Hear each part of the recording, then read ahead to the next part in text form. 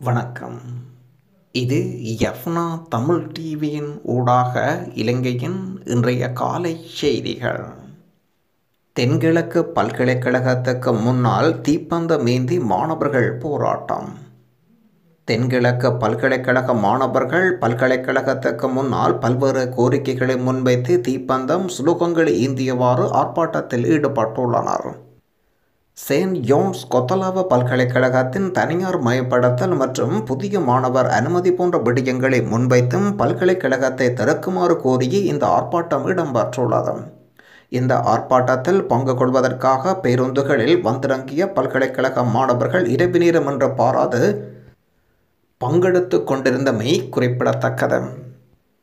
ஐம்பத்தி இரண்டாவது பிறந்த நாளை கொண்டாடும் விமல் வீரவன்சவுக்கு நாமல் வாழ்த்து. ஜனாதிபதி கோதபாய ராஜபக்சவினால் பதவி நீக்கம் செய்யப்பட்ட முன்னாள் அமைச்சர் விமல் வீரவன்சவுக்கு விளையாட்டுத்துறை அமைச்சர் நாமல் ராஜபக்ச பிறந்தநாள் வாழ்த்துச் செய்தி அனுப்பியுள்ளார். இது தொடர்பில் ட்வீட் செய்துள்ள நாமல் இந்த வருடம் வெற்றிகரமான வருடமாக அமையட்டும் என்று வாழ்த்தியுள்ளார்.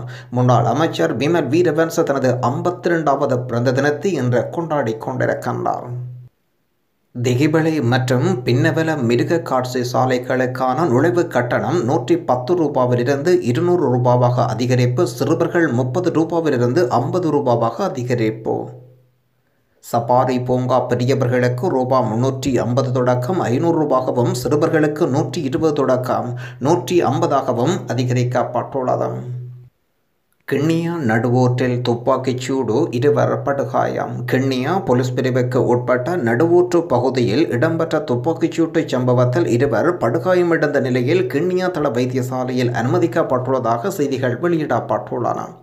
இதில் காயமடைந்த இருவரும் மேலதிக சிகிச்சைக்காக திருகோணமலை பொது வைத்தியசாலையில் அனுப்பி வைக்கப்பட்டதாகவும் மோட்டார் சைக்கிளில் பயணித்துக் கொண்டிருந்த மணல் வியாபாரிகளை இவ்வாறு துப்பாக்கிச்சூட்டுக்கு இலக்கானதாக தெரிய வருகின்றது ஈஸ்டர் தாக்குதலுக்கு இஸ்லாமிய தீவிரவாதிகளே காரணம் என்று ஆரம்பத்தில் கருதப்பட்ட போதிலும் அது பாரிய அரசியல் சதித்திட்டத்தின் ஒரு பகுதியாகும் என்பது விசாரணைகளின் போது தெரிய வந்துள்ளதாக கர்தனல் மெல்காம் ரஞ்சித் ஐக்கிய நாடுகள் மனித உரிமை பேரவையில் அறிவித்துள்ளார்.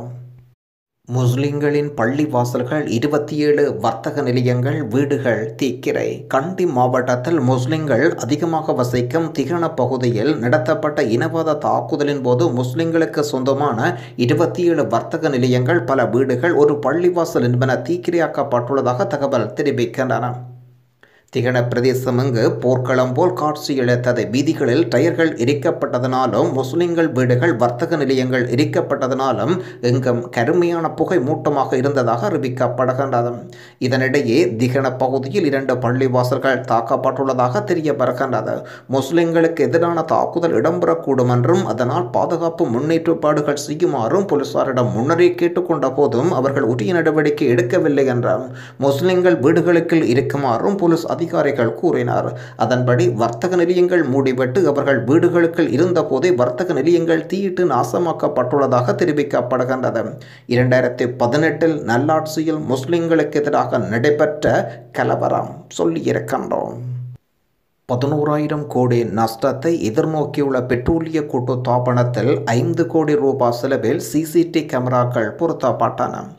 கடுமையான நஷ்டத்தை எதிர்நோக்கி இருக்கும் இலங்கை பெட்ரோலிய கூட்டத்தாபனம் ஐம்பது மில்லியன் ரூபாய் செலவில் பாதுகாப்பு கேமராக்கள் பொருத்தி இருப்பதாகவும் பெட்ரோலிய கூட்டத்தாபனம் அமைந்துள்ள கட்டடத்தில் ஏற்கனவே பொருத்தப்பட்ட பாதுகாப்பு கேமராக்கள் செயல்பாட்டில் இருக்கும் நிலையில் இந்த புதிய கேமராக்கள் பொருத்தப்பட்டுள்ளதாக தெரிய வருகின்றது. இலங்கை பெட்ரோலிய கூட்டுத்தாபனம் கடும் எரிபொருள் தட்டுப்பாட்டை சந்தித்து வரும் அதேவேளை பதினோராயிரம் கோடி ரூபாய் நஷ்டத்தை கொண்டுள்ளது. இந்த நிலையில் ஐந்து கோடி ரூபாய் செலவில் பாதுகாப்பு கேமராக்கள் பொருந்தி இருப்பது வியப்பாக இருப்பதாக ஊழியர்கள் அறிவித்துள்ளனர். பெட்ரோலிய கூட்டுத்தாபனம் அமைந்துள்ள ஐந்து மாடி கட்டடம் முழுவதும் பாதுகாப்பு கேமராக்கள் பொருத்தப்பட்டுள்ளதாகவும் அதிகாரிகள் அறைகளில் உயர்தர பாதுகாப்பு கேமராக்கள் பொருத்தப்பட்டுள்ளதாக தெரிய வருகின்றது பொங்குடிதீவில் நடந்த சம்பவம் முன்னாள் காதலியின் நிர்வாண படங்களை வைத்து வரச்சொல்லி மிரட்டிய மன்மதராசாக்கள். யாழ்ப்பாணம் ஊர்காவல்துறை போலீஸ் பிரிவில் பதினேழு வயது பாடசாலை மாணவியின் நிர்வாண புகைப்படங்களை காண்பித்து பாலியல் தொல்லை கொடுக்க முயன்ற இரண்டு மன்மத ராசாக்கள் கைது செய்யப்பட்டுள்ளனர்.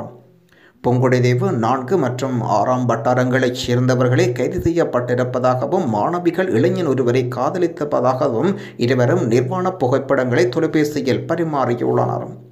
இந்த காதல் முறிவடைந்த காரணத்தினால் மாணவியின் ஒளிப்படங்களை தனது நண்பர்களுக்கு அந்த இளைஞன் பரிமாறியிருக்கின்றார் இந்த புகைப்படங்களை வைத்து மாணவியை பாலியல் துஷ்பிரயோகத்துக்கு உள்ளாக்க நான்கு மன்மதராசாக்கள் திட்டமிட்டுள்ளனர். அவர்கள் அந்த புகைப்படங்களை காண்பித்து தமது ஆசைக்கு இணங்காவிட்டால் அவற்றை பகிரங்கப்படுத்தப் போவதாக மிரட்டியுள்ளனர். மாணவி இது தொடர்பாக ஊர்காவல்துறை போலீசாரிடம் முறையிட்டார். துரிதமாக செயற்பட்ட போலீசார் இரண்டு மன்மதராசாக்களை கைது செய்திருப்பதுடன் இரண்டு மன்மதராசாக்களை தலைமறைவாகிவிட்டதாகவும் அவர்களை தேடி போலீசார் பெறுகின்றனர் கைது செய்யப்பட உள்ள ஹரணிகா குற்றவிய சட்டத்தின் கீழ் தானும் சிலரும் கைது செய்யப்பட உள்ளதாக முன்னாள் நாடாளுமன்ற உறுப்பினர் ஹரணிகா பிரேமிச்சந்திர அறிவித்துள்ளார். ஜனாதிபதி கோதபாய பக்சவின் இல்லத்துக்கு முன்பாக போராட்டம் நடத்தப்பட்டதாக எழுந்த குற்றச்சாட்டை அடுத்து இந்த கைது நடவடிக்கை மேற்கொள்ளப்பட இருப்பதாகவும் இருப்பினும் அந்த சட்டத்தின் கீழ் கைது செய்யப்படுவதற்கு தானும் தனது குழுவினரும் எந்த குற்றமும் செய்யவில்லை என்று குறிப்பிட்டுள்ளார் ஹரணிகா பிரமிச்சந்திரன் பாடசாலை மாணவர்களின் போக்குவரத்து பாதிப்போம் பாடசாலை மாணவர்களை ஏற்றிச் செல்லும் பேருந்துகள் வாகனங்களுக்கு எரிபொருள் வழங்க முறையான வேலை திட்டம் என்ற தொடக்கம் அமுல்படுத்தப்படாவிட்டால் தாம் பாரிய சுமைகளை சந்திக்க நேரிடும் என்றும் அகில இலங்கை பாடசாலை மாணவர் போக்குவரத்து சங்கத்தின் தலைவர் சில்வா அறிவித்துள்ளார். அரசாங்கத்திடம் முறையான வேலை திட்டம் இல்லை என்றும் சுட்டிக்காட்டிய அவர் தற்பொழுது டீசல் தட்டுப்பாடு காரணமாக பல்வேறு பிரச்சினைகளை எதிர்நோக்கி வருவதாகவும் தெரிவித்த அவர் தாங்கள் கடும் சிரமத்தை எதிர்நோக்கி வருவதாக குறிப்பிட்டுள்ளார். கடமைகளை பொறுப்பேற்ற பின்னர் எரிசக்தி அமைச்சர் வழங்கிய வாக்குறுதி. எதிர்வரும் புதன்கிழமை அல்லது வியாழக்கிழமைக்குள் எரிபொருள் நிரப்பு நிலையங்கள் மூலம் வளமை போன்று எரிபொருளை பெற்றுக்கொள்ள முடியும் என்று எரிசக்தி அமைச்சர் காமினி லொக்குகே அறிவித்துள்ளார். புதிய அமைச்சராக தனது கடமைகளை பொறுப்பேற்ற பின்னர் ஊடகங்களுக்கு கருத்து தெரிவிக்கும் போது அமைச்சர் இதனை குறிப்பிட்டுள்ளார். நாட்டின் சீமீந்தை தட்டுப்பாடாக்கி இன்று ஒற்றை குடும்பத்தைச் சேர்ந்தவர்கள் அவர்களின் சொந்த ஊரான அம்பாந்தோட்டையில் திறப்பு சீமேந்தின் விலை ஆயிரத்தி முன்னூற்றி எழுபத்தி ஐந்து ரூபாய் இந்த கம்பெனியின் உரிமையாளர் ராஜபக்ச கம்பெனி. மனித உரிமை ஆணைக்குழுவிடம் கருதினல் விடுத்த கோரிக்கை.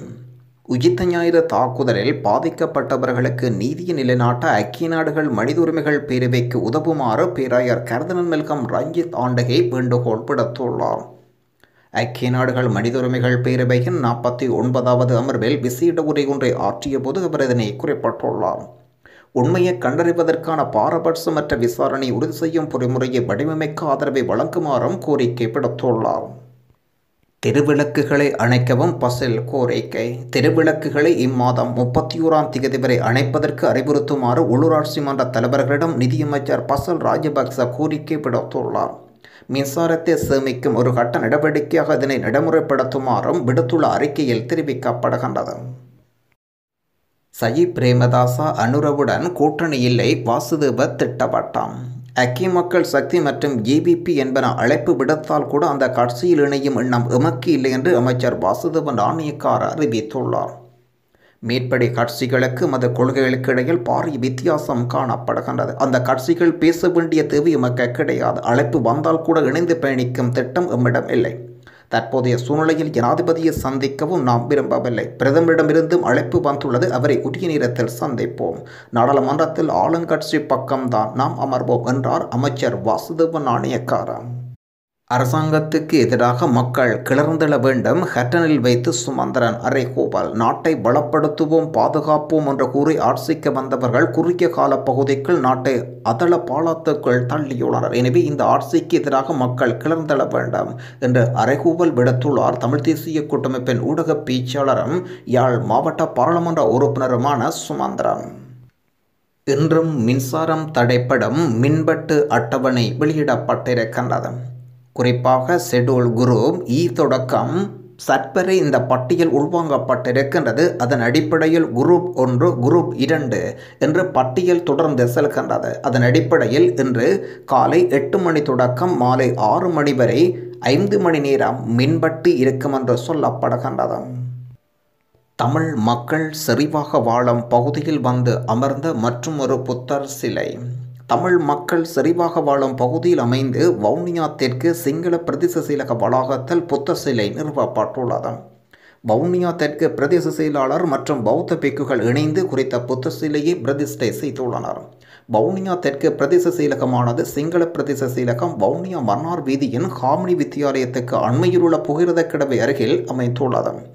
குறித்த பகுதியானது தமிழ் மக்கள் செறிவாக வாழும் பகுதியாக இருப்பதுடன் குறித்த பிரதேச செயலகத்தில் உதவி பிரதேச செயலாளர் உட்பட அதிகளவான உத்தியோகத்தர்கள் தமிழ் முஸ்லிம் மக்களாகவே உள்ள நிலையில் குறித்த பிரதேச செயலக வளாகத்தில் பிரம்மாண்டமாக பீடம் ஒன்று அமைக்கப்பட்டு புத்தருடைய சிலை நிறுவப்பட்டுள்ளது. கொழும்பில் இருக்கும் ரஷ்ய தூதரகத்துக்கு முன் வெளியில் போராடிய உக்ரைனைச் சேர்ந்த பெண். கொழும்பில் உள்ள ரஷ்ய தூதரகத்துக்கு முன்பாக உக்ரைனிய பெண் ஒருவர் ரஷ்ய அரசாங்கத்துக்கு எதிராக அமைதியான முறையில் பதாகைகள் ஏந்தி ஆர்ப்பாட்டத்தில் ஈடுபட்டுள்ளார். போரை நிறுத்தக்கூறி வாசகம் தாங்கிய பதாகையை தாங்கியிருந்தார்.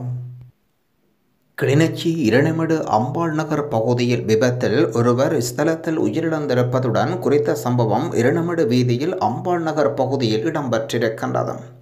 இரணிமடு பகுதியின் ஏனையின் மீது நோக்கி பயணித்த ஐஸ்கிரீம் வியாபார ஊர்தியுடன் எதிரே பயணித்த மோட்டார் சைக்கிள் மோதியிருக்கின்றது விபத்தில் மோட்டார் சைக்கிளில் பயணித்த ஆண் ஒருவர் சம்பவ இடத்தில் உயிரிழந்திருப்பதாகவும் கிளிநொச்சி வைத்தியசாலை தகவல் தெரிவிக்கின்றது கிளிநொச்சி திருவியாறு பகுதியைச் சேர்ந்த பத்மநாதன் சஞ்சீவன் என்ற இருபத்தி ஒன்பது வயதுடைய நபரை உயிரிழந்திருக்கின்றார். இவர் ஆடை தொழிற்சாலையில் பணிபுரிவர் என்றும் விசாரணையில் தெரிய வந்திருக்கின்றதும் பொப்புனித நீராட்டு விழாவுக்கு யாழ்ப்பாணம் வந்தவருக்கு காத்திருந்த அதிர்ச்சி. புத்தூர் மேற்கு நவக்கிரை பகுதியில் பொப்புனித நீராட்டு விழா நிகழ்வுக்கு வந்தவரின் பதினான்கு பவன் நகையும் இரண்டாயிரத்தி ஐநூறு பவன் வெளிநாட்டு நாணயத்தாலும் திருடப்பட்ட சம்பவம் இடம்பெற்றுள்ளது. ஐரோப்பிய நாடொன்றிருந்து இலங்கை வந்த குறித்த பெண் தனது பன்னிரண்டு பவுன் தாலிக்கொடி இரண்டு பவுன் தங்கச் சங்கிலி மற்றும் இணைந்து இரண்டாயிரத்தி ஐநூறு பவுண்ட்ஸ் வெளிநாட்டு நாணயத்தாள் என்பவற்றை பிரத்யுகுமார் இடம் ஒன்றில் வைத்துள்ளார். அதிகாலை நகை பணத்தை எடுக்க முற்பட்ட போது அவை திருடு போனமை தெரிய வந்துள்ளது இதன்போது வீட்டின் பின்பக்க எண்ணல் கம்பி உடைக்கப்பட்ட திருடு போனமை தெரிய வந்துள்ளது சம்பவம் தொடர்பில் அச்சுவேலி போலீஸ் நிலையத்தில் முறைப்பாடு செய்யப்பட்டதாக குறித்த பெண் அறிவித்துள்ளார். இந்த ஆட்சியில் அமைச்சு பதவியை ஒருவருக்கு வழங்குவதும் அதை பிடுங்கி எடுப்பதும் வழமையாகிவிட்டது இந்த ஆட்சிக்கு அமைச்சு பதவியை ஒருவருக்கு வழங்குவதும் அதை பிடுங்கி எடுப்பதும் வழமையாகிவிட்டதாகவும் ஜனாதிபதி கோத்தபாரஜபக்சவின் குணமாக மாறிவிட்டதாக சொல்கின்றார் புதிய கம்பன் பில. கோதபா ராஜபக்சவை ஜனாதிபதியாக்கி கதிரையில் ஏற்றி அழகு பார்க்க எண்ணினோம். பல சவால்களுக்கு மத்தியில் இறுதியில் எமது ஆசை நிறைவேற்றினோம். ஆனால் ஜனாதிபதி கதிரையில் அமர்ந்த கோதபா ராஜபக்ச ஆலோசனை வழங்குகின்றோம் என்ற பெயரில் சிலர் அவரை அவமரியாதைக்கு உட்படுத்தியது மட்டுமன்றி நாட்டையும் சீரழித்தனர். இதோடப்பில் நாம் கேள்விகளை எழுப்பிய போது எம்மீது அம்புகள் பாய்ந்தது. நானும் பிமல் பீடவன்சமும் அமைச்சு பதவிகளை இழக்க வேண்டி வந்தது இந்த சதி வேலைகளுக்கு தலைமை தாங்கியவர் வேறு யாரும் அல்ல. அவர் அடுத்த தடவையாவது ஜனாதிபதியாக வர வேண்டுமென்ற கனவுடன் செயற்படுகின்றார். அமெரிக்க பிரெஜியான அவர் இரண்டாயிரத்தி பதினைந்தாம் ஆண்டு ஜனாதிபதி தேர்தலில் மஹிந்த ராஜபக்சவே தோல்வியை செய்துவிட்டு நாட்டை விட்டு தப்பியோடியதை தற்போதைய ஜனாதிபதி கோத்பா ராஜபக்ச மறக்க மாட்டார் என்று நம்புகின்றோம். ஒரே குடும்பத்துக்களிருந்து குளிபுரைக்கும் செயல்களில் ஈடுபடும் அவரை தேசிய பட்டியலூடாக நாடாளுமன்றத்துக்கு அழைத்து குறிப்பாக ஒரே குடும்பத்தைச் சேர்ந்தவர்களை தேசிய பட்டியலூடாக நாடாளுமன்றத்துக்கள் அழைத்தது படு முட்டாள்தனமானது என்கின்றார் உதய கம்பன் பில உண்மையை உரைத்தால் எனது அமைச்சி ஜனாதிபதியினால் பறைப்போ. பசிலே முழு காரணம் அதன் விளைவுகளை விரைவில் சந்தித்தே தீருவார். நான் அமைச்சரவையிலிருந்து நீதிக்காகவே குரல் கொடுத்தேன். நாட்டின் நலன் கருதி உண்மைகளை பகிரங்கமாக உரைத்தபடியினால் எனது அமைச்சு பதவி ஜனாதிபதி பறைத்துள்ளார். எனினும் நீதி வெல்லம் உண்மை ஒருபோதும் சாகாது இவ்வாறு தேசிய சுதந்திர முன்னணியின் தலைவர் விமல் பீடவன்சா குறிப்பிட்டுள்ளார். நான் உட்பட எனது கட்சியை சேர்ந்த ஆறு உறுப்பினர்களும் நாடாளுமன்றத்தில் எதிரணி பக்கம் அமர மாட்டோம். அரசு பக்கம் இருந்தே சுயாதீனமாக செயற்படுவோம் எனக்கு நடந்த அநீதிக்கு நீதி கிடைத்தே தீரும். எனது அமைச்சு பதவி பறிபோக நிதியமைச்சர் பசல் ராஜபக்சவை முழு காரணம். அதற்கான விளைவுகளை அரசியல் ரீதியில் அவர் விரைவில் சந்தித்தே தீருவார். நாட்டின் பொருளாதாரம் அதள பாதாளத்துக்கள் சென்றமைக்கும் பசல் ராஜபக்ச பதில் சொல்லியே ஆக வேண்டாம்.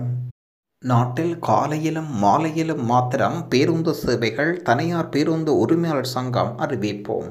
நாட்டில் காலையிலும் மாலையிலும் மாத்திரமே பாடசாலை மாணவர்கள் மற்றும் அலுவலக ஊழியர்கள் கருத்தில் கொண்ட பேருந்து சேவைகள் இடம்பெறும் என்று தனியார் பேருந்து உரிமையாளர் சங்கத்தின் தலைவர் கெமுனு விஜயரத்ன அறிவித்துள்ளார். இன்று மட்டும் மட்டுப்படுத்தப்பட்ட அளவில் பேருந்து சேவைகள் இடம்பெறும் என்றும் இரவில் பேருந்து சேவைகள் இடம்பெறாது. இரவில் தனியார் பேருந்துகள் சேவையில் ஈடுபடாது என்றும் எரிபொருள் காரணமாக இருபத்தி ஐந்து வீதமான தனியார் பேருந்துகள் தற்பொழுது சேவையில் ஈடுபட்டுள்ளதாகவும் குறிப்பிட்டுள்ளார். நன்றி.